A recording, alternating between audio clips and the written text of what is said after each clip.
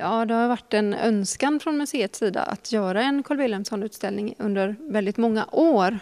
Eh, och eh, för en tid sedan då så eh, kom Thomas Lagerman som alltså var barnbarn till Carl Wilhelmsson.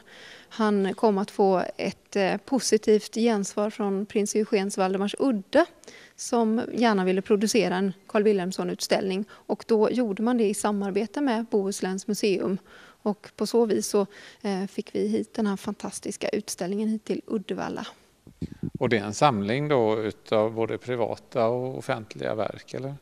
Ja, det är både inlån från museer runt om i eh, Sverige och i Norden och sen då eh, en hel del privata inlån.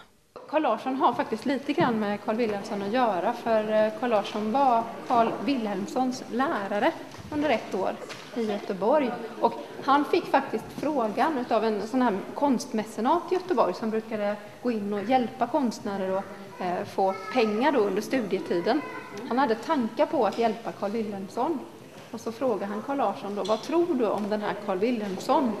Och då svarade Carl Larsson att nej, honom blir det aldrig någonting av. Och här är ett uppförstorat foto från 1894 och där står en inte ens 30-årig ung man med konstnärsambitioner. Det är Carl Wilhelmsson i bästa kostymen mitt i ateljén här. Eh, han har en liten målartrasa i handen där, men kanske inte ska rekommendera att måla i finkostymen, men just när man poserar för bild så kan det ju vara på sin plats då. Man kan jämföra det här fotot med det sista självporträttet som man målar. Där han målarrock på sig, så han har uppenbarligen lärt sig någonting under åren Vi tittar återigen på den här vepan så ser ni att det står en målning på bordet där. Eh, den heter Fiskarkvinnor bindande nät. Den finns med i utställningen här. Och den målningen var Carl Wilhelmsson väldigt missnöjd med från början. Han ville göra sönder den. Men hans syster Anna övertalade honom att ta med den här målningen ner till eh, Paris. Och så visade han den på en stor utställning. Man, visade, man hade den årliga salongen när man visade konst och så blev man bedömd.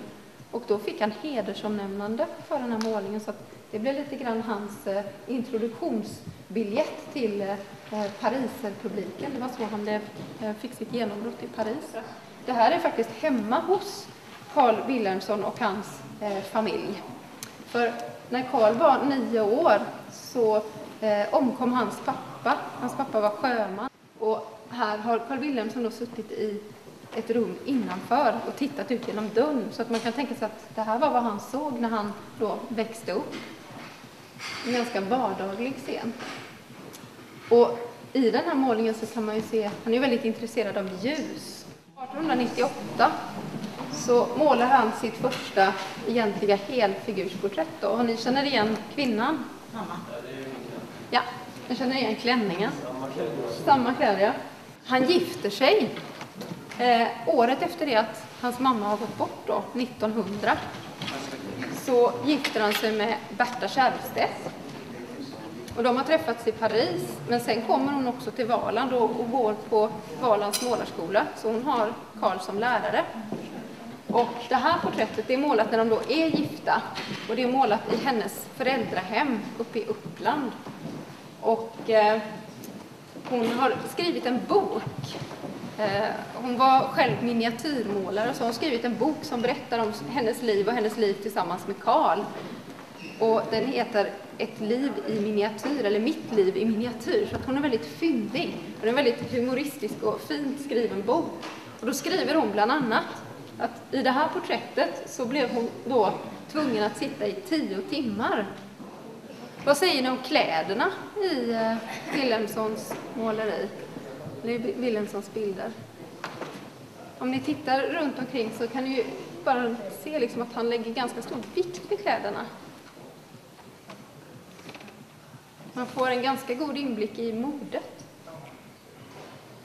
Om man tittar på snittet på Ingers klänning här, det är verkligen så 20-talsklänning och så har hon kortklippt frisyr. Tittar man på de lite äldre målningarna då så är det liksom alla kvinnor har långt hår och knut i nacken. Så man kan verkligen följa hur eh, klädedräkten och modet förändras. Hur sätter man in honom så att säga i det konstnärliga sammanhang som fanns på den tiden? Vilka var han influerad utav och så? Han har ju sina rötter kan man säga i ett 1880-talsmåleri där realismen är eh, så att säga fundamentet. Eh, sen lär han sig ju väldigt mycket då av Carl Larsson eh, till exempel som han ju har som lärare då. Och han tar ju också intryck så småningom då utav det som sker inom modernismen, det här med att frigöra färg och form. Han blir ju aldrig någon abstrakt målare, men han intresserar sig väldigt mycket för just färgen, ljuset och formen i målningarna då. Eh, 1910 så reste han ner till eh, Spanien. Han gjorde tre resor till Spanien. Carl Wilhelmsson, han eh, väljer ju hela tiden när han reser då att måla ungefär samma motiv som man målar hemma i Fiskebäckskil. Det är liksom de enkla människorna som han skildrar. Och den här stora målningen, den finns även i vanliga fall då här på museet. Pigorna i Avila. Gruppporträttet är gjort innan han reser till eh, Spanien. Det är gjort 1902. Och det är i hans ateljé på Valand faktiskt. Så det här är Göteborg. Det här är ju tre kvinnliga elever. De hade ett eh, smeknamn. De kallades för de tre musketörerna. De hängde ihop på skolan. Hur ser du på hans utveckling så att säga, under åren som konstnär? Eh, ja, han är ju en konstnär som ständigt eh, tar nya intryck och som omvandlar intrycken till sitt eget eh, bildspråk. Han börjar i ett ganska klassiskt valörmåleri men i eh, slutet av sitt liv så eh, kan man ju säga att han jobbar nästan i den nya saklighetens tecken och det är en väldig skärpa och pregnans i detaljerna. Och eh, dessemellan då så har han ju också eh, gjort utflykter i något som nästan kan kallas för neoimpressionism och en slags eh, eh abstraktion, då, syntetism. Eh, mycket inspiration då från Paul Gauguin till exempel och hans sätt att arbeta med färg och form. Och ni kan se att speciellt i himlen här så är det nästan som att han har jobbat med små, små punkter eller små fläckar. Och så är tanken då att färgen ska blandas i ögat. Eh, att man liksom får den här vibrerande ytan. Och det blir liksom ett ljusgenomsläpp också genom duken då, som lyser igenom mellanfärgen. Man förstärker ljuset i målningen. Och här är han också jätteinspirerad av eh, japansk konst. Japanska träsnitt. Här är ju verkligen den här sjömannen då, Oskar Dahlqvist, han är ju sitt esse här på sin båt, Svea, ute på det öppna havet här och det är äventyrligt. Och han finns med i målningen tvärs över här männen vid kyrkan. Och där sitter han i, inträngd i en svart cheviotkostym och ser inte fullt så lycklig ut som han gör här. Och sen är han med också i målningen rakt ner så, för vårt dagliga bröd. Den här målningen, det är faktiskt den målningen som han får sitt genombrott med i Sverige. När den visas i Stockholm 1901. Och då är det fiskarkvinnor på väg från kyrkan. Men de ser väldigt allvarliga ut. Ja.